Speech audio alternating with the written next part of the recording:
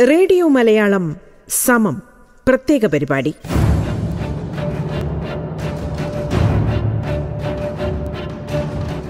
കേരളത്തിന്റെ പെൺപാദമുദ്രകൾ. കേരളത്തിന്റെ ചരിത്രത്തെ മാറ്റിമറിച്ച കരുത്തുറ്റ സ്ത്രീകളുടെ കഥ.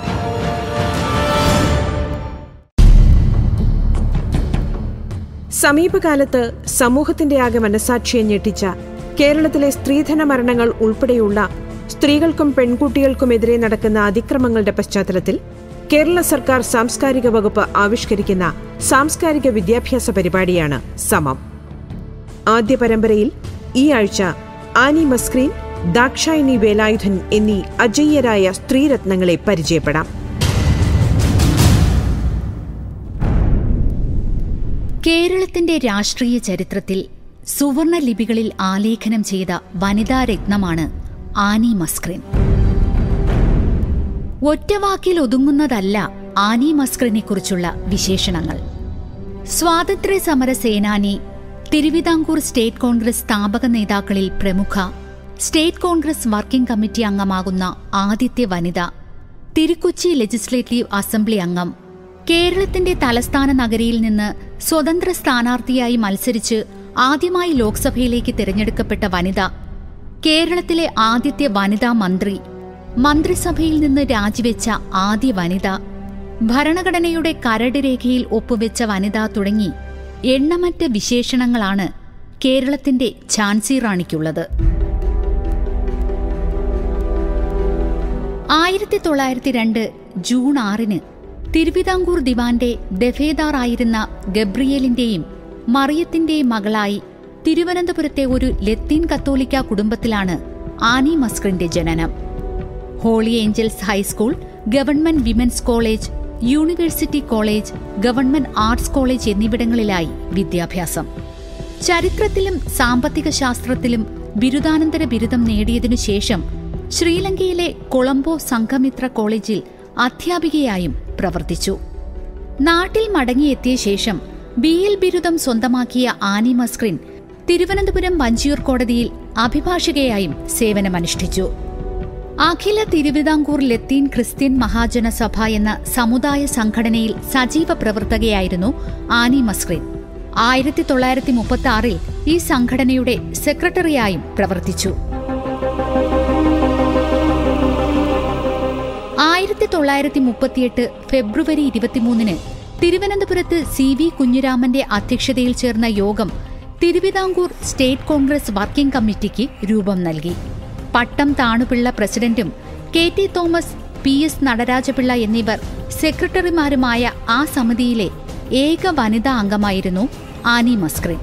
ആയിരത്തി തൊള്ളായിരത്തി നാൽപ്പത്തിയൊന്നിൽ വാർധയിൽ മഹാത്മാഗാന്ധിക്കൊപ്പം ഏഴ് മാസം താമസിച്ച് സ്വാതന്ത്ര്യ പ്രക്ഷോഭത്തിൽ പങ്കുചേർന്നു.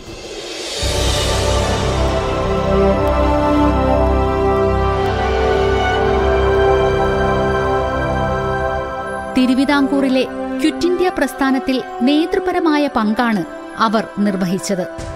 ഇതിനിടയിൽ പലതവണ പ്രക്ഷോഭങ്ങളിൽ പങ്കെടുക്കുകയും അറസ്റ്റ് വരിക്കുകയും ചെയ്തു. ഉത്തരവാദ ഭരണത്തിനു വേണ്ടിയുള്ള പ്രക്ഷോഭം നടക്കുന്ന സമയത്ത് വനിതാ നേതാവായിരുന്ന ആനി മസ്ക്രിന് നടുറോഡിൽ ഉടുതുണി ഉരിഞ്ഞു മാറ്റിയുള്ള അധിക്ഷേപം വരെ നേരിട്ടു.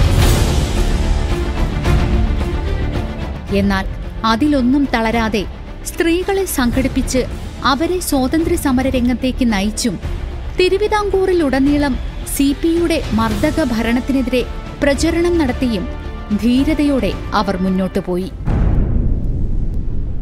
തിരുവിതാംകൂർ സ്വാതന്ത്ര്യ സമര ചരിത്രം എന്ന ഗ്രന്ഥത്തിന്റെ കർത്താവായ സി നാരായണപിള്ള ആനി മസ്ക്രീന്റെ ജീവിതത്തെ ഇങ്ങനെ അനുസ്മരിക്കുന്നു. സ്റ്റേറ്റ് കോൺഗ്രസിന്റെ ആരംഭകാലം മുതൽ അതിനോട് ബന്ധപ്പെട്ട് അവസാനം വരെ ഉറച്ചു നിന്ന് പ്രവർത്തിച്ച തിരുവിതാംകൂറിലെ ഏക വനിത മിസ് ആനി മസ്ക്രീനായിരുന്നു.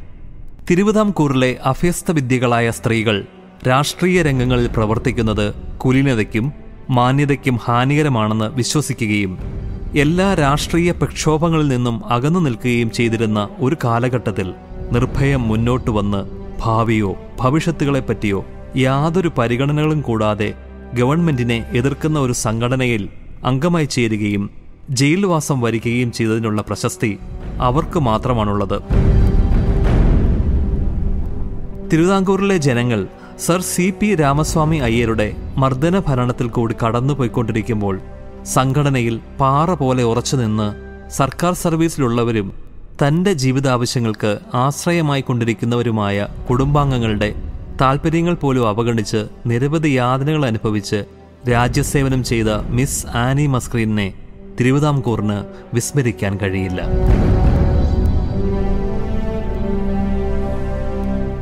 നിങ്ങൾ കേട്ടുകൊണ്ടിരിക്കുന്നത് റേഡിയോ മലയാളം.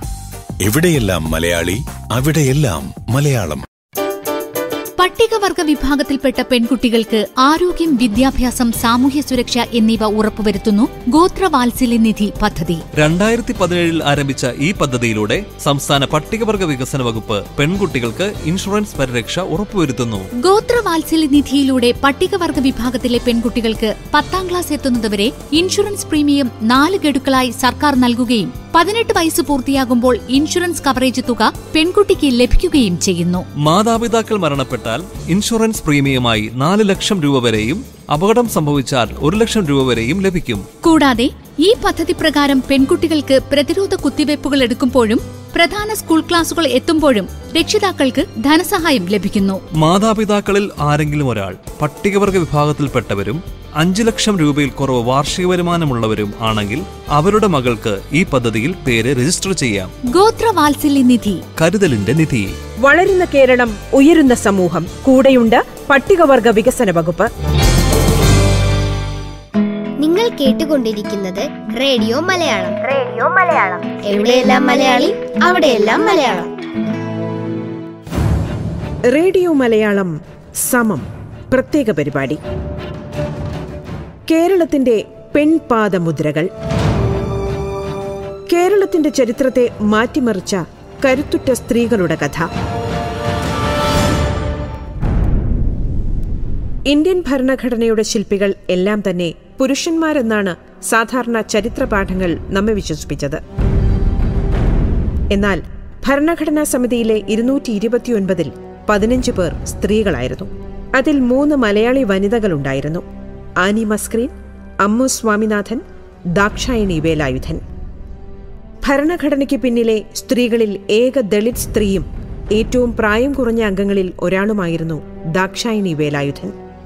കൊച്ചി നഗരത്തിന് ചുറ്റുമുള്ള ദ്വീപുകളിലൊന്നായ മുളവുകാട് ആയിരത്തി തൊള്ളായിരത്തി പന്ത്രണ്ടിൽ ജനിച്ച ദാക്ഷായണിയുടെ ജീവിതവും രാഷ്ട്രീയവും നിശ്ചയിക്കപ്പെട്ടത് അന്നത്തെ കഠിനമായ ജാതി വ്യവസ്ഥയിലൂടെയാണ് തീർത്തും അധകൃതരായിരുന്ന പ്രധാനമായും കർഷക തൊഴിലാളികളായിരുന്ന പുലയ സമുദായത്തിലായിരുന്നു അവർ ജനിച്ചത്.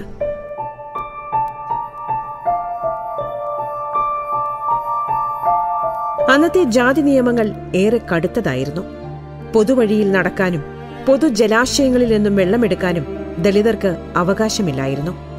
ശരീരത്തിന്റെ മുകൾ ഭാഗം മറയ്ക്കാനുള്ള അവകാശം പുലയരുൾപ്പെടുന്ന ദളിത് സ്ത്രീകൾക്ക് ഉണ്ടായിരുന്നില്ല.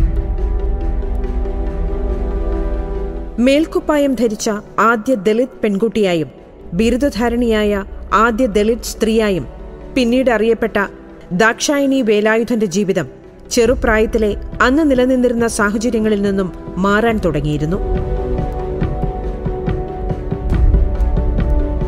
കൊച്ചിയിൽ പട്ടികജാതി വിഭാഗത്തിൽ നിന്ന് ആദ്യമായി മെട്രിക്കുലേഷൻ പാസ്സായ അവർ എറണാകുളം മഹാരാജാസ് കോളേജിൽ നിന്നും മദ്രാസിൽ നിന്നും ബിരുദങ്ങൾ കരസ്ഥമാക്കി. ആയിരത്തി തൊള്ളായിരത്തി നാൽപ്പത്തി അഞ്ചിൽ ദാക്ഷായണി വേലായുധൻ കൊച്ചി നിയമസഭയിലേക്ക് നാമനിർദ്ദേശം ചെയ്യപ്പെട്ടു.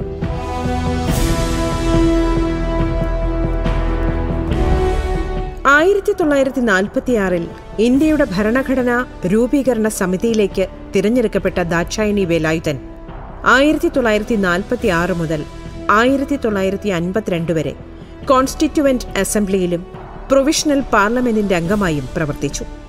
പാർലമെന്റിൽ വിദ്യാഭ്യാസ രംഗത്ത് പ്രത്യേകിച്ചും പട്ടികജാതിക്കാർക്കും അധകൃതർക്കുമുള്ള ക്ഷേമ പ്രവർത്തനങ്ങൾക്ക് പ്രാധാന്യം കൊടുത്ത് പ്രവർത്തിച്ചു. ഭരണഘടനാ സമിതിയിലേക്ക് തിരഞ്ഞെടുക്കപ്പെട്ട ആദ്യ ദളിത് വനിതയാണ് ദാക്ഷായണി വേലായുധൻ.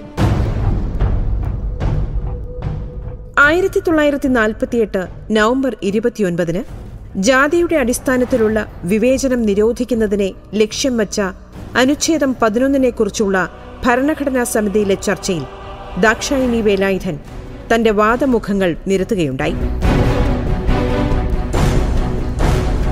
പൊതുവിദ്യാഭ്യാസ പരിപാടികളിലൂടെ വിവേചനരഹിതമായ വ്യവസ്ഥകൾ നടപ്പാക്കാൻ ആഹ്വാനം ചെയ്ത ദാക്ഷായണി വേലായുധൻ ജാതി വിവേചനത്തെ അപലപിക്കാനുള്ള പ്രമേയം ഭരണഘടനാ സമിതി അംഗീകരിക്കുകയാണെങ്കിൽ അത് പൊതുസമൂഹത്തിനുള്ള മഹത്തായ സൂചനയാകുമെന്നും ചൂണ്ടിക്കാട്ടുകയുണ്ടായി. സമൂഹത്തിൽ നിലനിന്നിരുന്ന ഉച്ചനീചത്വങ്ങൾക്കെതിരെ തലയുയർത്തി കാലുറപ്പിച്ച് നിവർന്നു നിന്ന ദളിത് വനിത എന്നത് തന്നെയായിരിക്കും തന്റെ സമുദായത്തിനും രാജ്യത്തിനും വേണ്ടി ദാക്ഷായണി വേലായുധൻ നൽകിയ ഏറ്റവും പ്രധാന സംഭാവന. റേഡിയോ മലയാളം. എവിടെയെല്ലാം മലയാളി അവിടെയെല്ലാം മലയാളം.